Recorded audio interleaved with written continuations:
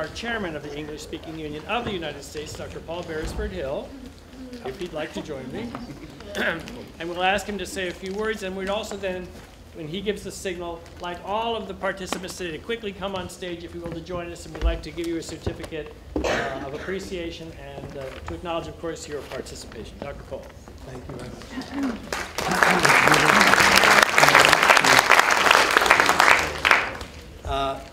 Lucia, thank you so much for words which resonate amongst all of us here today and which reflect so much the, the values, the ideals, and the aspirations both of the English speaking union and I think of those of us who love Shakespeare and his works so much. Thank you, students, for an absolutely spectacular day. Unfortunately, I wasn't able to make uh, all of the performances, but I was told as I came in that those who witnessed everybody felt that this was one of the strongest groups of students that we've had doing the Shakespeare competition uh, in the over 30 years that it has been a part of the English-speaking union.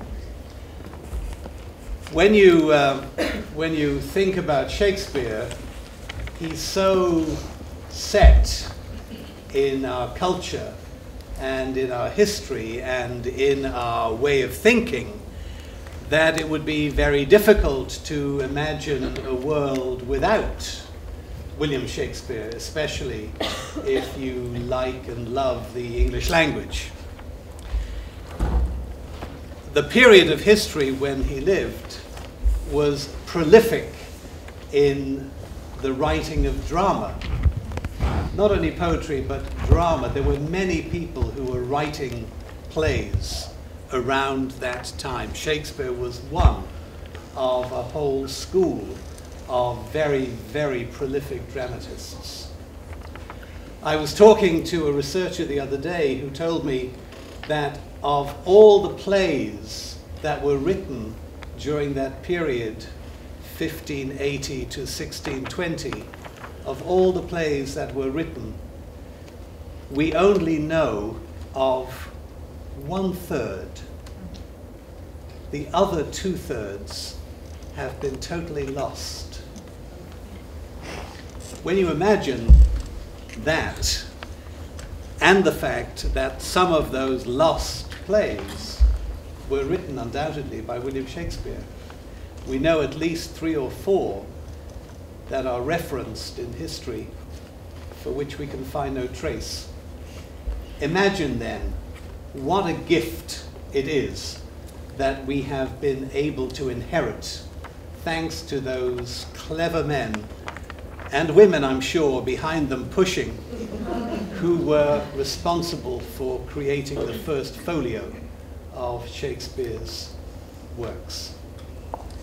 Many of those plays that were recorded in that first folio, of which only about 160 copies, I believe, still exist, uh, many of those plays were found in, I wouldn't hardly say garbage cans, but they were salvaged from theatres, from shelves, from cupboards, from places all over London, and any researcher who is aware of that first folio will tell you that many of the plays that were written and published were published in such a way that they reflected the very, very haphazard way in which they were collected and put together. The fact that we have this canon of Shakespeare and the fact that his works are still noted and talked about today tells us something. And I think what it really does tell us something about is about ourselves. The first Shakespeare play I saw was at Stratford on Avon, and it was a performance of Julius Caesar. I'll never forget coming in, sitting at the back, and looking at the bare, empty stage, and hearing loud, loud, loud trumpets and a band playing a very, very militaristic march. And suddenly the theater was bathed, the stage bathed in light, and these huge, huge banners fell bearing swastikas. I couldn't believe my eyes. Swastikas. And there was Julius Caesar, a fascist dictator. Shakespeare, Ben Jonson said, is not only for now but for all time. But Shakespeare's magic is the fact that he is amenable to interpretation. And that is what we saw here today. We saw tragedy, we saw comedy, we saw laughter, we saw tears, we felt the passion, the raw emotion of kings and emperors and lovers and the dispossessed we found and saw on this stage this afternoon pretty much everything that Shakespeare has to offer because you were able to interpret his words 400 years later so they came alive for each one of us. That is the gift that Lucia Dumont tells you you must continue and you must perpetuate and you must carry through in your lives and you must learn and continue to learn and pass on this great torch of human feeling, of human emotion, and of human passion. I've talked enough. I want to give out some certificates now. Everybody, please. When you hear your name, kindly come forward and receive your certificate. These certificates are in no particular order. So, uh, Actually, their performance. oh, they're in perform- oh, I'm sorry. So, number one, Amber Ross.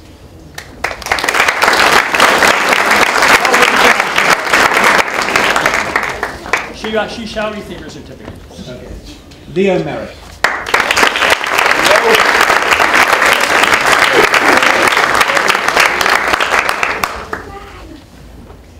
Reese Twiller.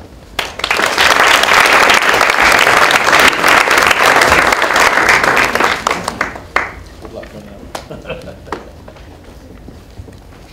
Just like, it- just like it's spelled. Chinliu Mau Africa.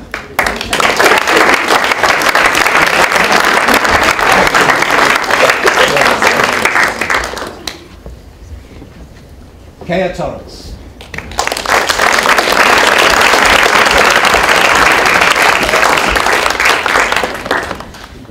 Thank you so much. Alicia Grimes.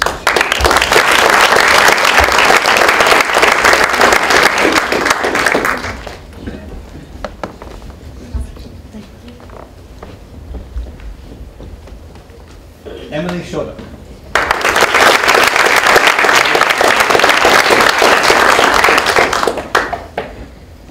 Makana Richter.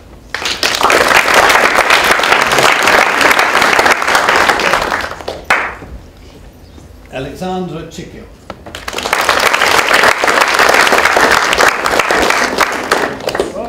They had flights. Flights. Oh dear. Oh. Clara Livingston.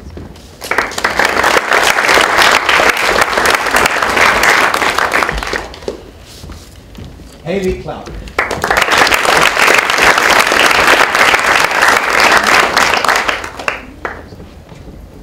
Patrick Bond.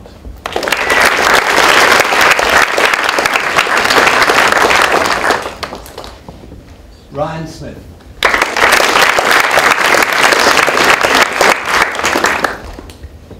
Lyric Mullen.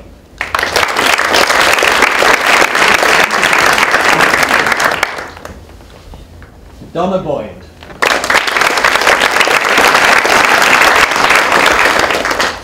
Celia Brown.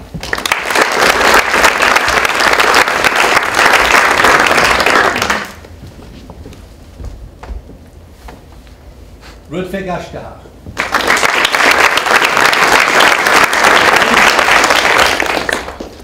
Marilyn Greer Moore.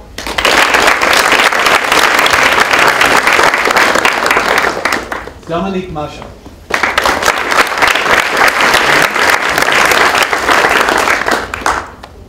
Caroline Downs.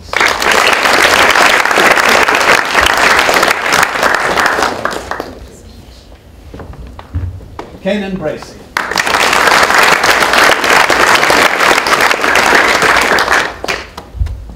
Leanne Bell.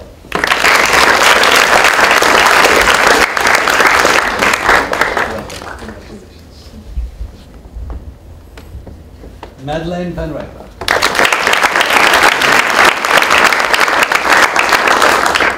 Alana Stern.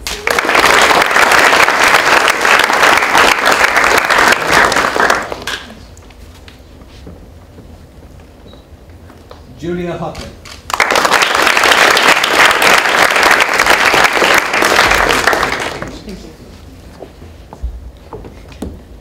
Michael Martin.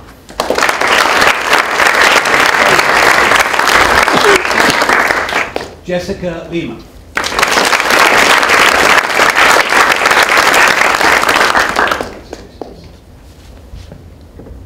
Stephen Rosario.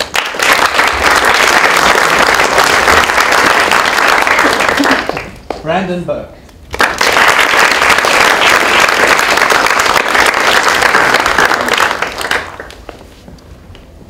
Danielle Gonzalez.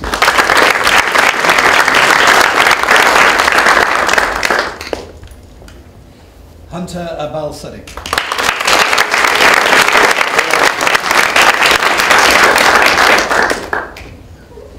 Rohan Padmakumar.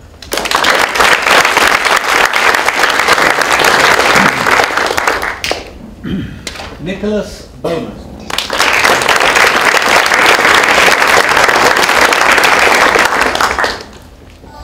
Ogechi Agano.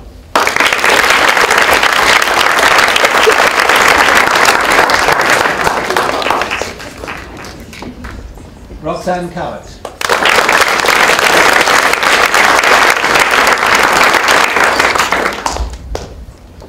Presley Kraut.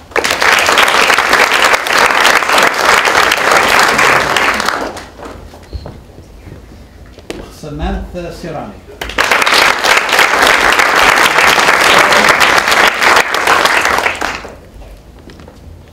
Rosie Finch Brown.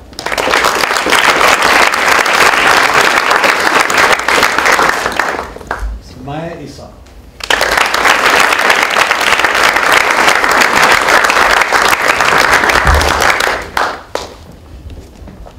Libby Kalmanson.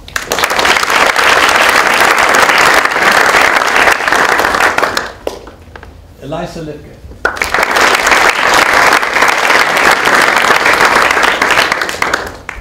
Lauren Ledger.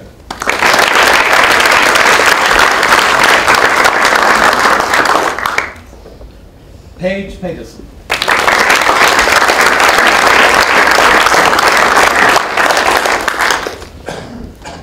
Cassie Duca.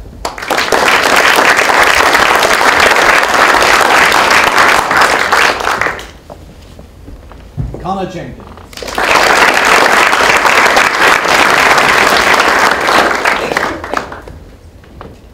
Malenki Welsh.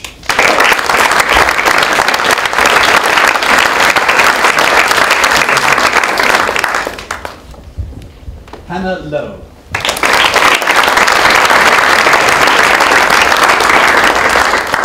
Judy Durkin.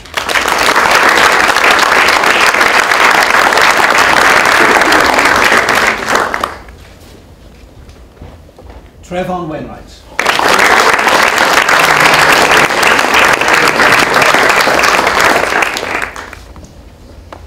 Andrew Spafford.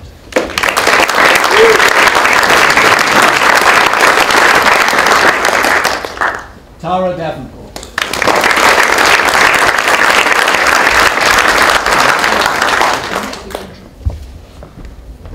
Anna Avansky.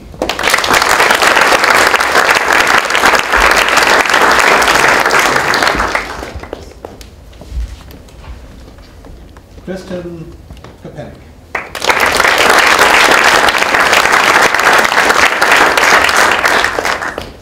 Claire Janison.